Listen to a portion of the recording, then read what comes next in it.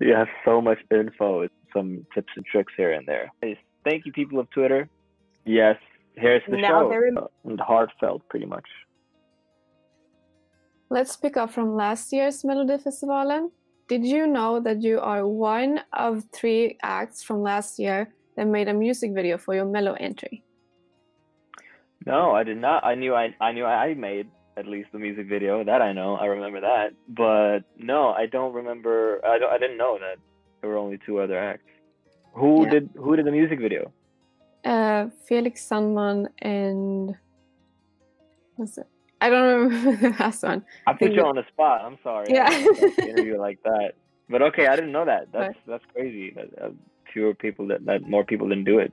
Yeah, it's too bad because people wants to have more visuals. So Yeah, yeah, yeah. Yeah. I guess maybe like the performance in itself becomes like a music video, and it's so Mhm. visual anyway. Maybe that's why a lot of people don't do it. But for us, uh, we always wanted to make a music video, like even before we even knew what the number looked like and stuff like that. We we just said we need a music video for this song. yeah, and we love an artist who delivers visuals. Tell us about the making of the music video "Talking in My Sleep" and who did you collaborate with?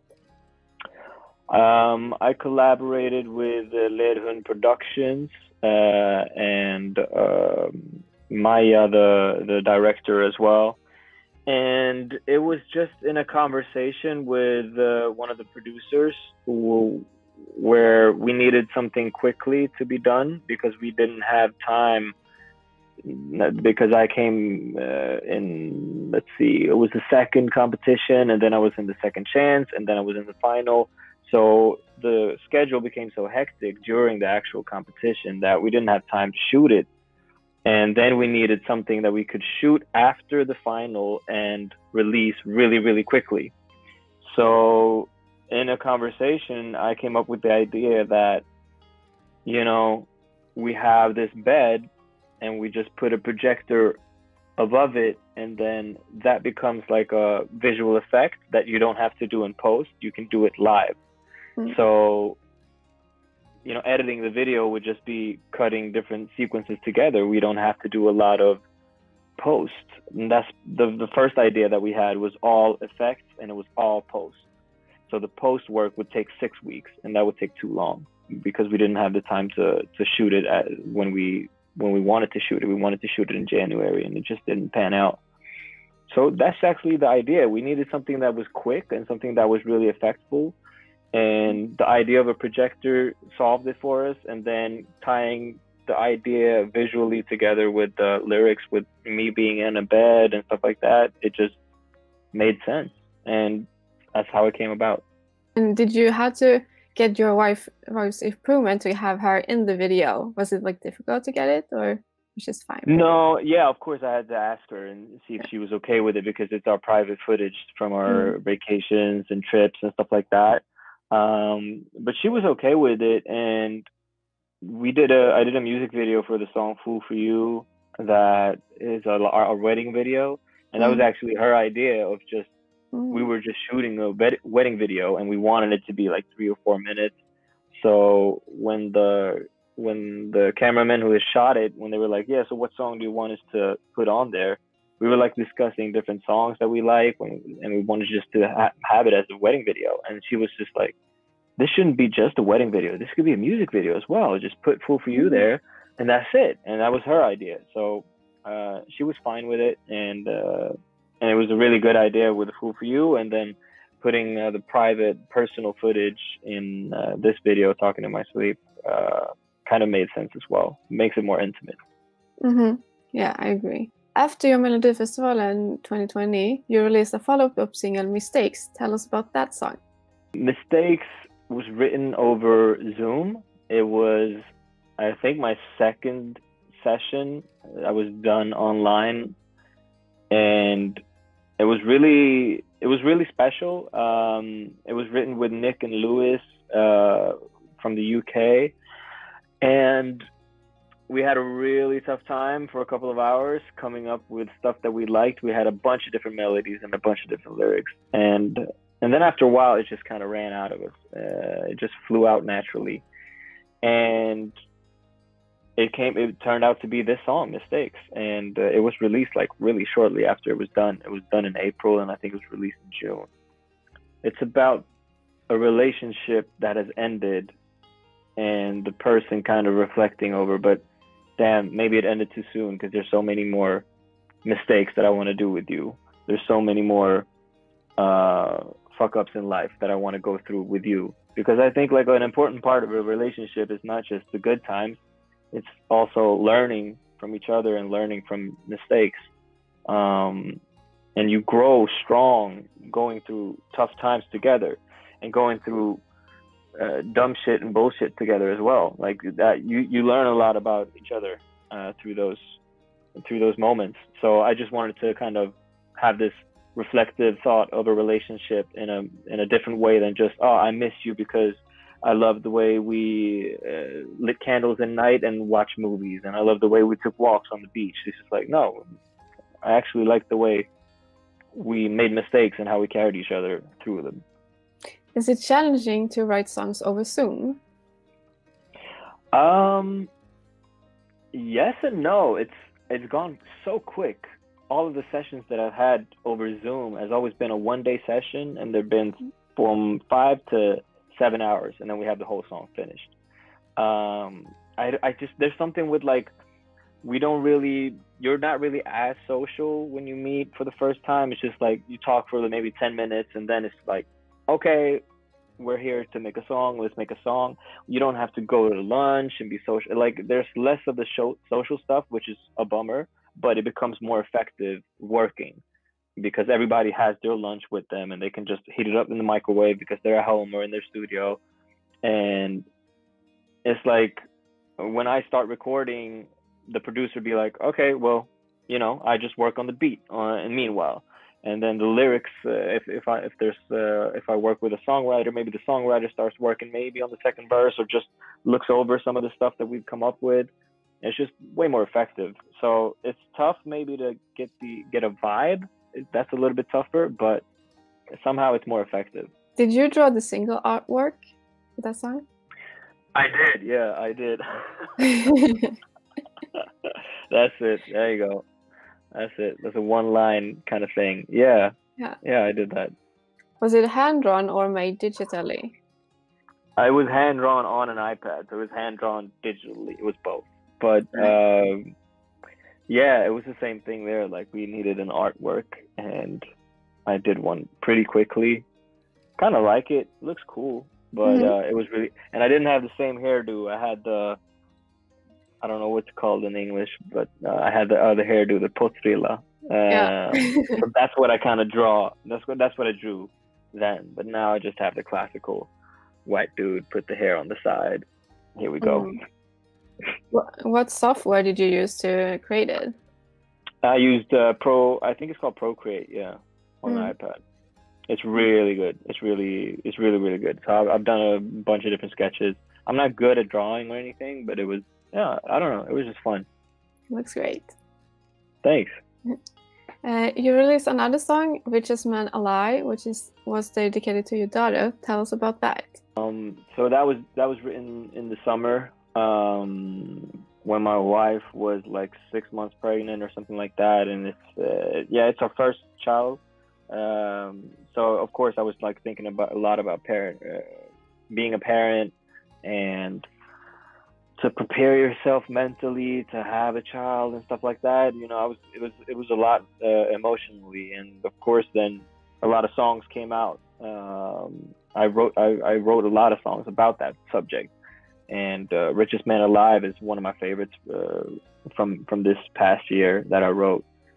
And um, yeah, it's just pretty much you don't need anything else in life when as long as you have family, and and that's just what Richest Man Alive is about. As long as she's by my side, I'm the richest man alive.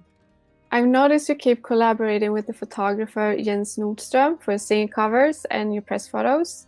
How did you yeah. meet him, and what makes you keep working with him?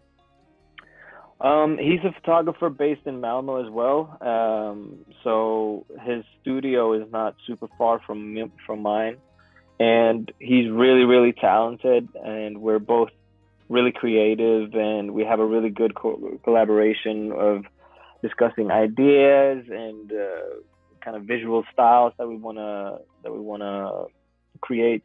So um, it's natural for me to keep collaborating with him, and uh, I met him actually through the contact at uh, Warner Music uh, that has worked with him before.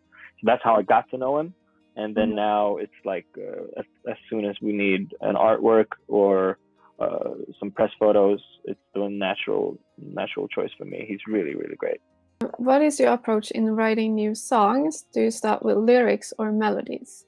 It's really different uh, from time to time. It's and it's a really a combination. Um, either I start with maybe the title or what I want the song to be about. If it's a phrase or something that kind of caught my attention or that I thought was catchy or just kind of expresses what I want to write about.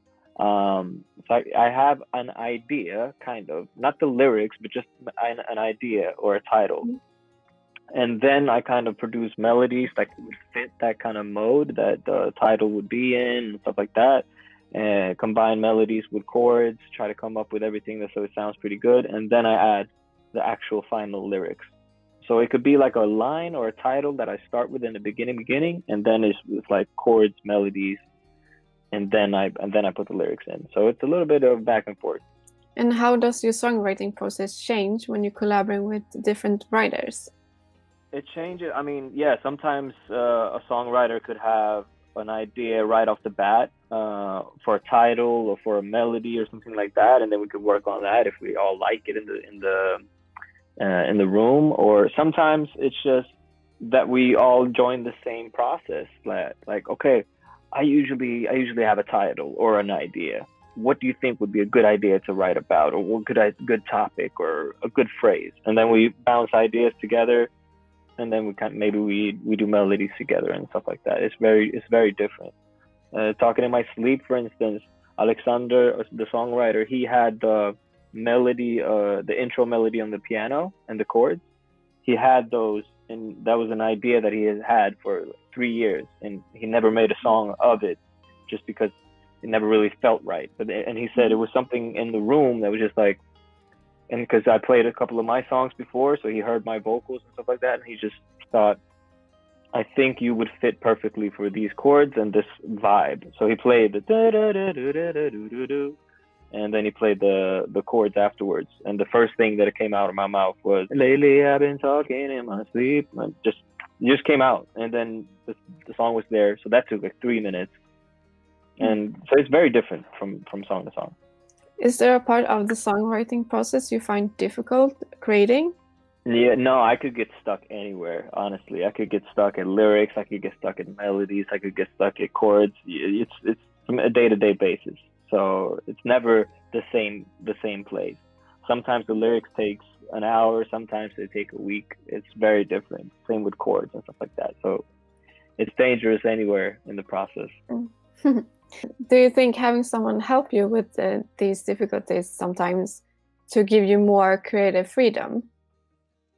Yeah, it's always nice to collaborate with people. I write a lot alone, so it's always nice when there's a co-write um, with another songwriter as well.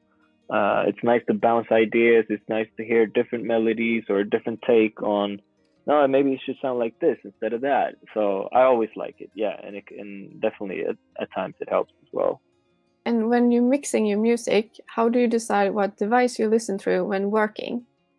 What device to listen to? Yeah, like headphones or speakers. Um, yeah, so I, I combine both. I do a lot of mixing in headphones and in mm. different headphones that have different sounds, but are like pretty typical for uh, your regular consumer or regular listener to listen to. So I know what how they're gonna uh, perceive the the song. Yes, I have like I have four different headphones, kind of, and then two different speakers that I mix through. So I make them. I'm happy when it kind of when it sounds the same, no matter what speaker or or headphones I'm listening to. When it kind of sounds the same, I know mm-hmm. that I'm happy with the with the balance, and then uh, and then I give it to a master uh, mixer, and that just put the masters on, and and then it usually sounds good. Mm. and from your preference, is there any different uh, difference in listening through headphones versus speakers? Yeah, um, headphones you you don't go as much on vibe. Or if you do it on speakers, you could really bump the volume and see how it feels and see how it's, it, you get a different feel for for the song and for the mm-hmm. mix.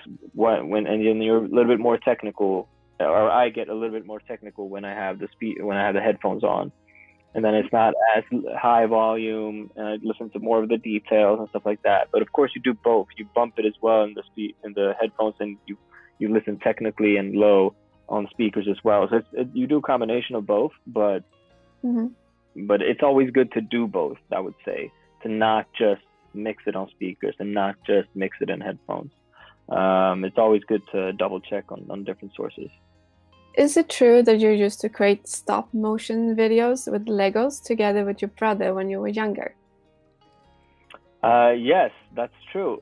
that's uh, that's very true. Um, so we bought. We've always built a lot with Legos, especially my brother, and they had this uh, webcam back in the day. This was like 15 years ago or something like that. That looked like a Lego piece that you could actually still build mm. Legos on. So we used that in like Windows Movie Maker, and we made stop footage, stop motion uh, videos. And that actual webcam that was from Lego was also the first microphone that I used to, mm. to record songs. Uh, I put a sock on it and then I started doing rap music when I was 13 or something like that. So the sock became like the puff uh, protection, so it doesn't sound mm-hmm. puff puff. And the webcam just had a mic, so it became the studio microphone that I used for like a couple of songs in the beginning. So it all it all started with the Lego webcam somehow. Yeah, that's awesome. And what kind of videos did you make? Uh, mostly Star Wars videos, I think. I like we had a lot of Star Wars Lego stuff, and that was our main interest. And then some racing uh, stuff as well. We loved Formula One growing up, so we did we did a lot of those. Yeah. Do you want to create videos again?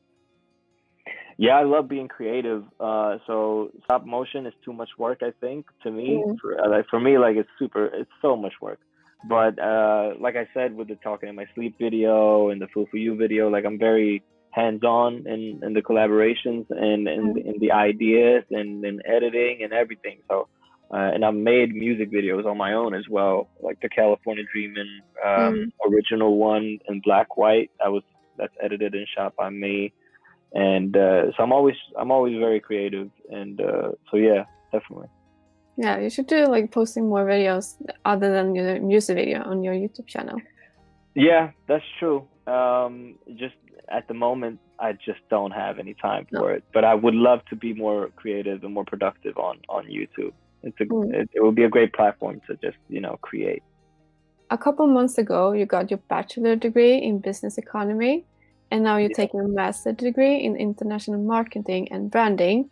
What inspired you to take these courses?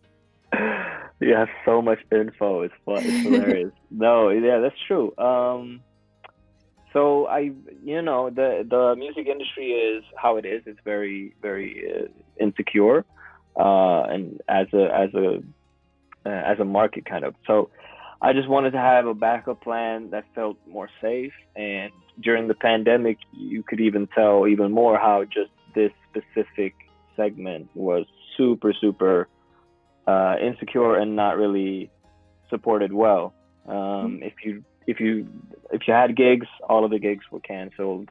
There's it just yeah, just the nature of music the, the music industry made me uh, want to have something more secure, and especially when we were planning to to, to have a family and and have kids, uh, I wanted to have something more secure just in case if it, if it was necessary. And, and, thankfully, I've been able to combine both studying and uh, being active as an artist. And it's even gone better and better and better for me as an artist uh, once I started studying. So I, maybe it's mm. even good to have something to balance it with. It's not just focus on music 100% of your time. So that that's the reason for it, and uh, I'm really happy that I made the decision to study, and uh, I'm really happy it's gone as well as uh, as it has.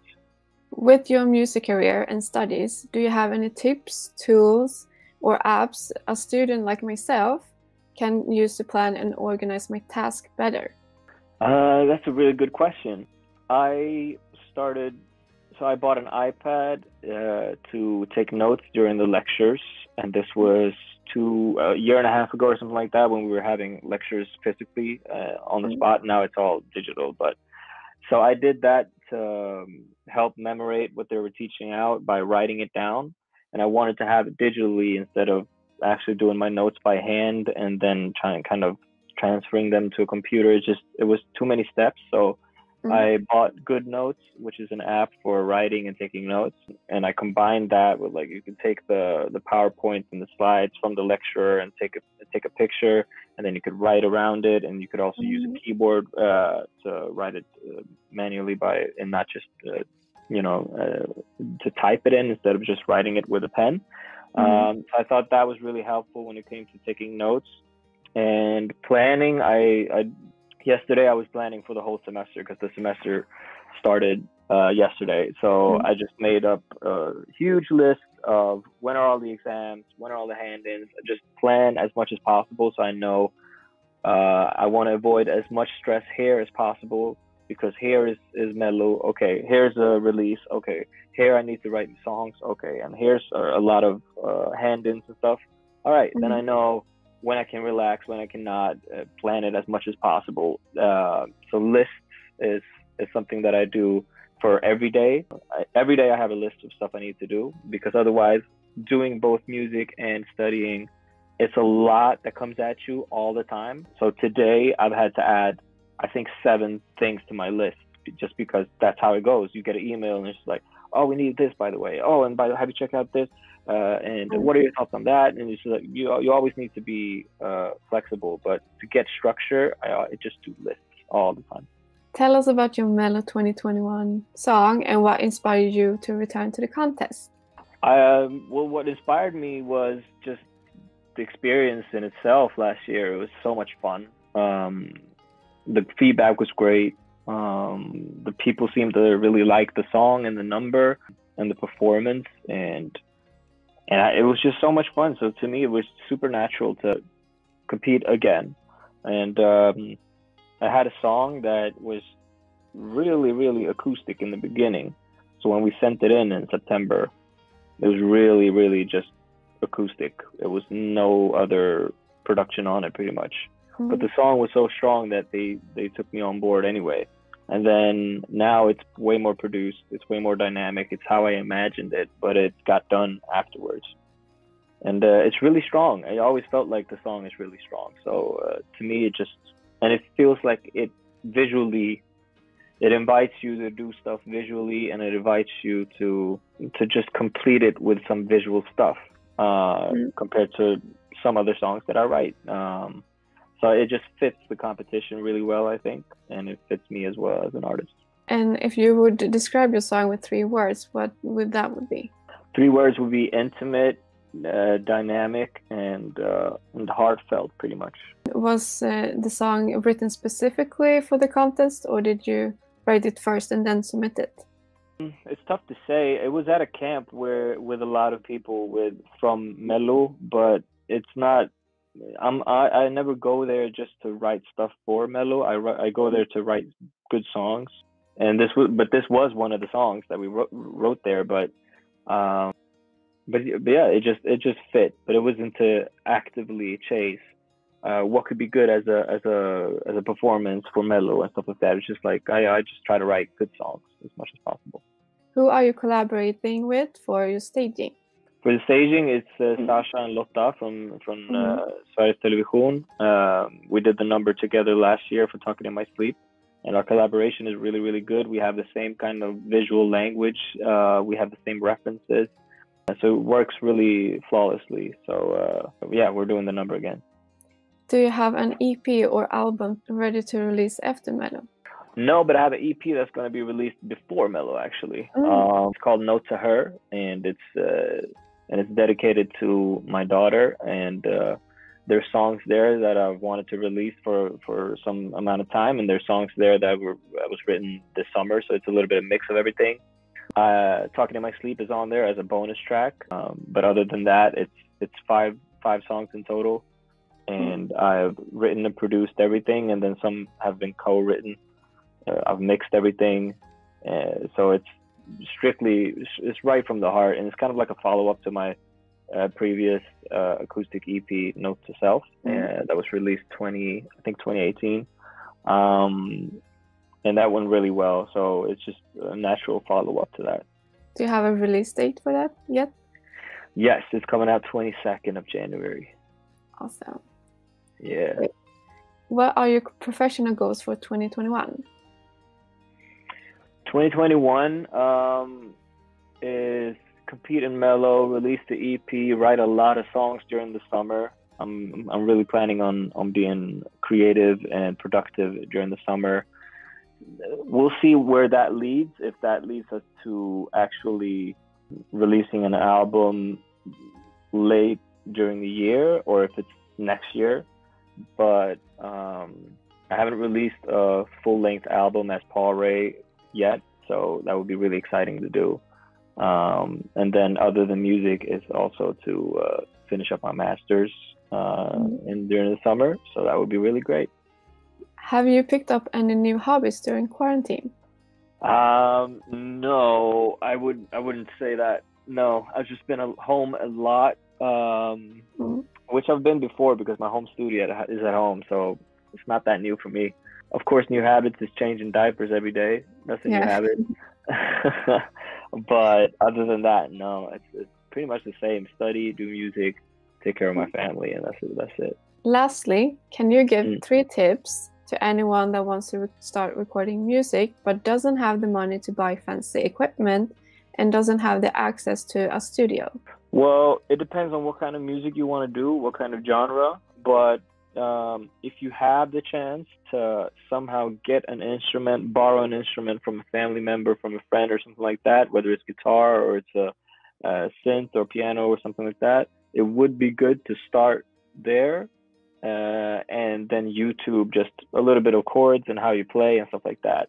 If not, what you could do is go on YouTube again or go on SoundCloud and look up all these different instrumental and vibes and beats and stuff like that and just write songs to it because you get really good the more you do it and the more you practice. And uh, to, to to work on you don't have to write a song per day but to work on a song every day would do a lot. And to also listen to your favorite artist and try to kind of reflect on why do you think that they're your favorite artist what is it in their songs that you like? And maybe see a pattern. Okay they usually do this in every song. Uh, maybe the way they structure it maybe the way they um, write their lyrics. Just study the study the the greats and study your favorites and then maybe you figure out some tips and tricks here and there. Um, but it's just being active every day. That that that really that really does it Thank you so much for the interview. yeah, thank you. It was lovely.